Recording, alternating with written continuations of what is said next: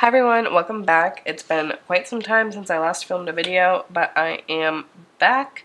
Um, I am not 100% still, but I feel like I'm good enough to film this video. I do still have a lingering cough that like will not go away, but the frequency of the cough I feel like has gone down enough for me to be able to film this. So we're making progress.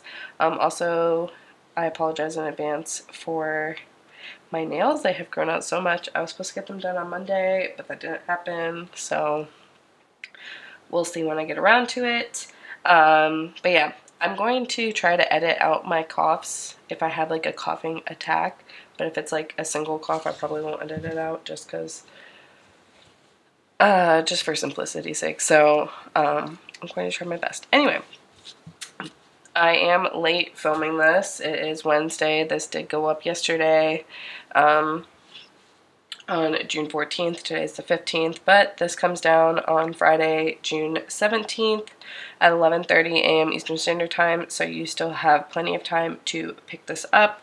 This week's theme is like a back to basics, so we have some scripts, we have um, date numbers, and then we have florals, kind of like revamped kind of. I'll explain in a little bit, but let's get into the like foiled stickers first and then we'll do the florals because I feel like, I don't know, we'll see.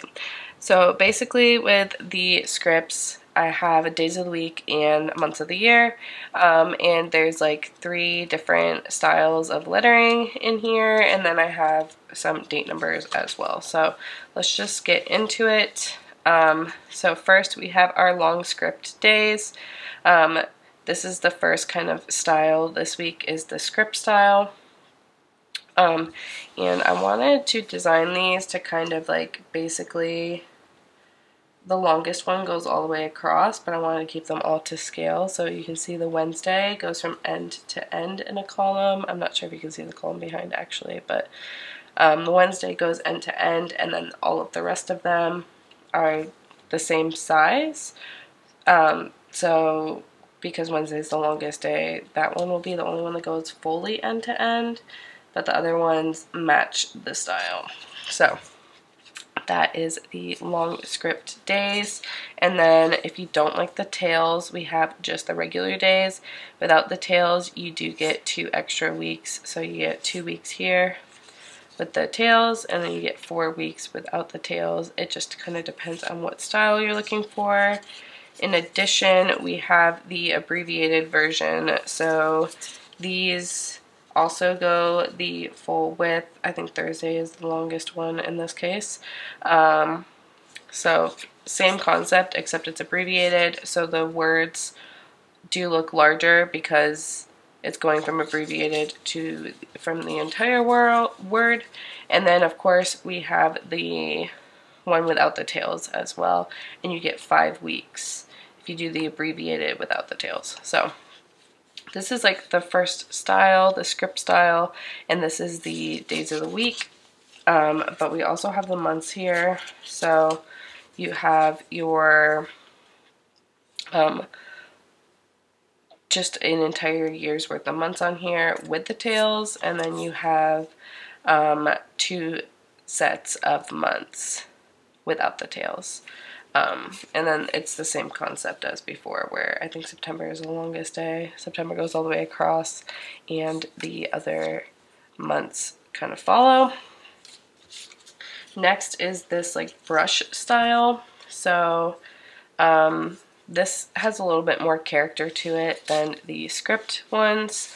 So with the script, it's pretty, the it's pretty consistent in how the tail looks and there's not much variation in the letters and it's not it's kind of just like straight across so I wanted the brush letter which kind of mimics more of a true hand lettering feel so that was kind of like the idea behind this style so um, again I wanted it to go all the way across so this is the long brush days and then this is the long brush days without the tail so you get um, two weeks worth with the tails and you get three weeks without the tails.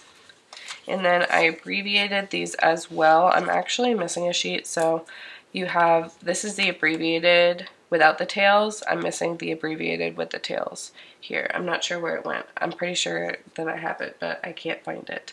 Um, so this is the version uh, without the tails, but this is the brush style.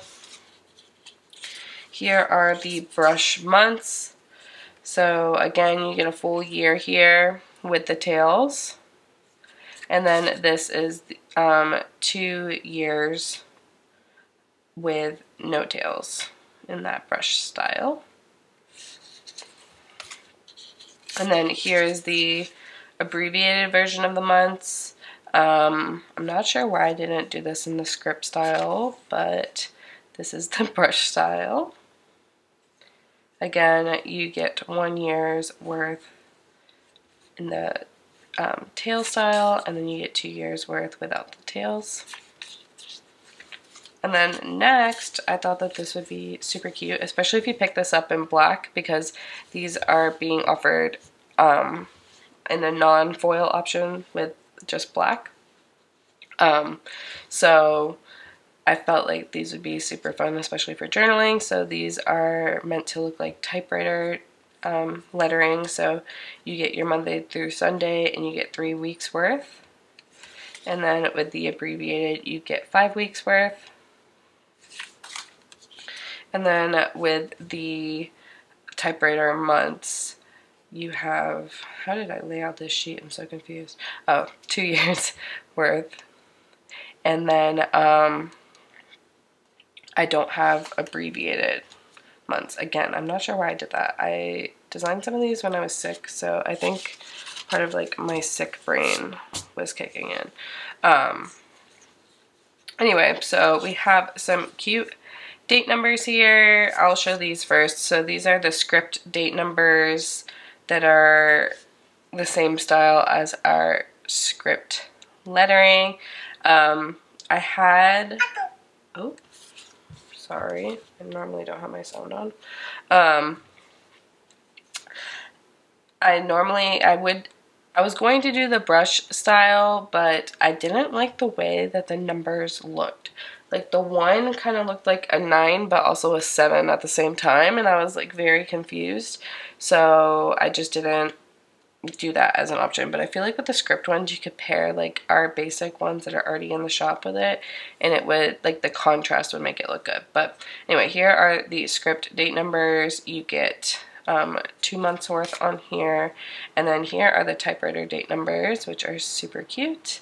And you get one, two, three, three months of the typewriter date numbers on here. And then this one I thought was fun.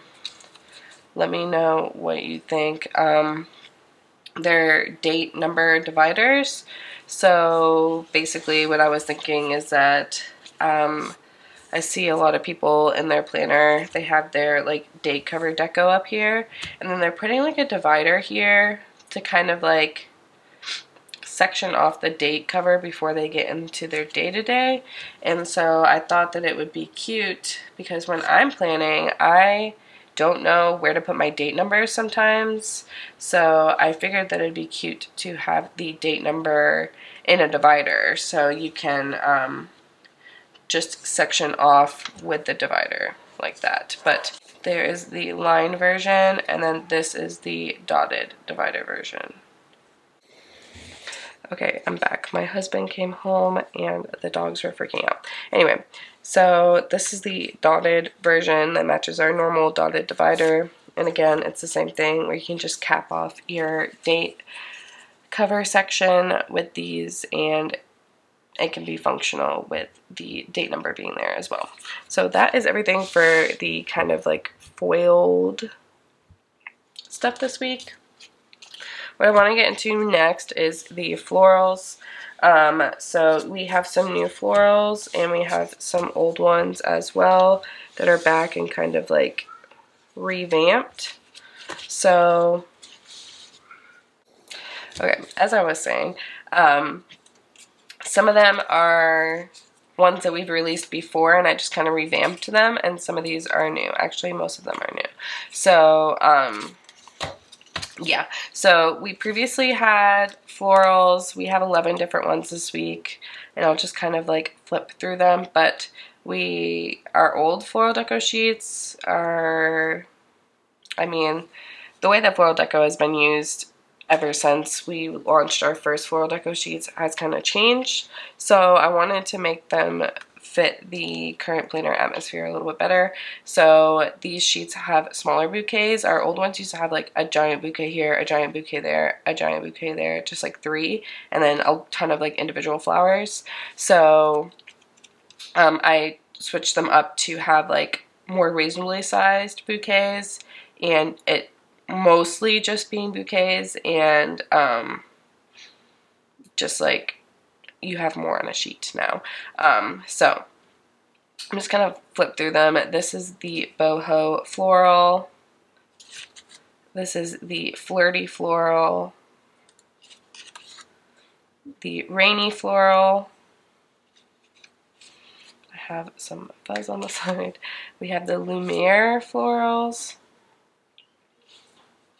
These are the wild florals. These are a little bit different. They're not like bunchy bouquets. They're more like um, little tiny individual wildflower bouquets and when you see the trims you'll see like why they look this way. Um, but they do have like some dragonflies and butterflies and stuff sprinkled throughout there and then I had some extra space on here so I threw in some butterflies and such. These are the wedding florals.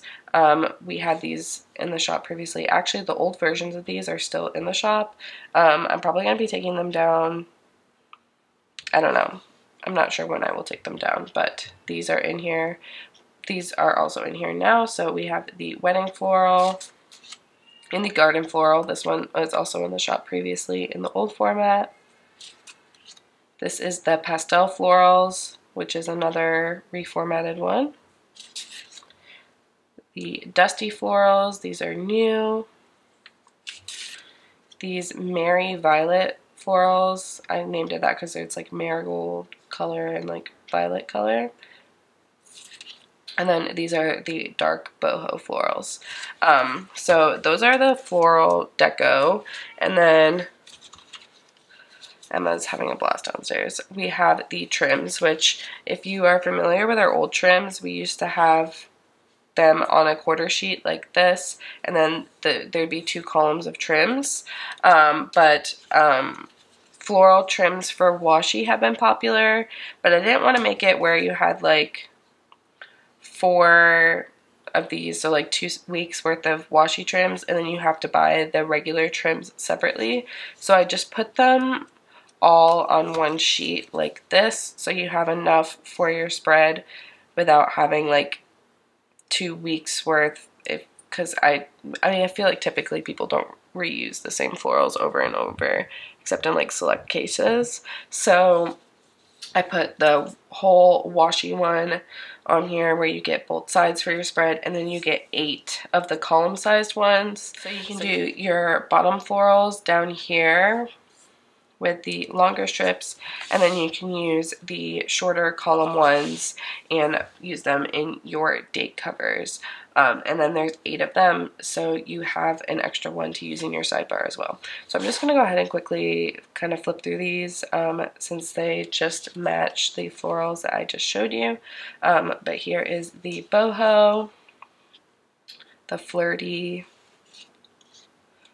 rainy,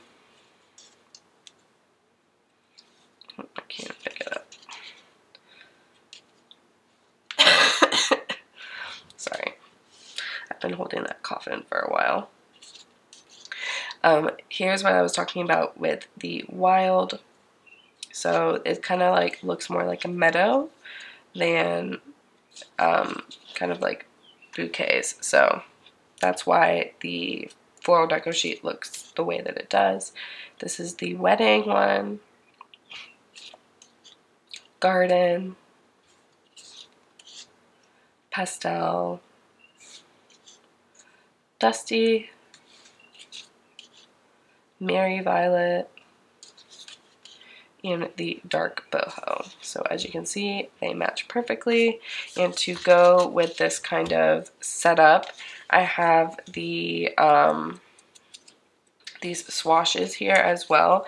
So um, you can kind of see that I pulled colors from the florals. So this is the dark boho swashes and these are kind of like for your own like DIY date cover action so you can if like say you don't want to use the date covers that are in the kit um, so you can just use these scripts with the date numbers on the swashes to make your own date covers paired with the trims for your um, date cover deco and then you have your washi and your other florals to use throughout your spread. So I'm just going to kind of like flip through these like side by side so you can like see, well, that's fun because these are in a different order because I just flipped through the other ones already. So let me get them in the same order as the florals. So I'm just going to flip through both of these so you can just see how these swashes match the florals. So here is the dark boho. This is the Mary Violet. The Dusty. Pastel. Garden. Wedding, wild, oops, Lumiere, rainy, oops, okay, flirty, and then boho. So the swashes will complement your florals so it can be seamless. You could alternate the swashes and have like every other day be a different color. Um, you can use some of them as date covers and some of them as like quarter boxes in your spread. And the swashes are Kiss Cut and these are the same swashes that we have um, as I was saying, these are the same swashes that I have in our date covers, so you get the same kind of style, but they are kiss cut. Um, so, hopefully that all makes sense. Um, I am probably going to put together some like mock spreads. I mean, not really like spreads, but kind of just like show how you can pair all this stuff together on Instagram. And then, of course, I'm going, because I don't if I put all these down in the planner, I just feel like it's going to be like 5 million pages of the planner. Um, and I feel like the majority of the time when the stickers get put down in the planner, it's for sizing references.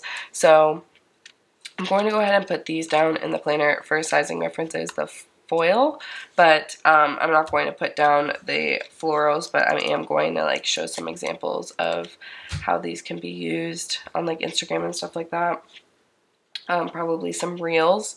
Um, these will be in the shop after the $2 Tuesday. They will just be at the normal price.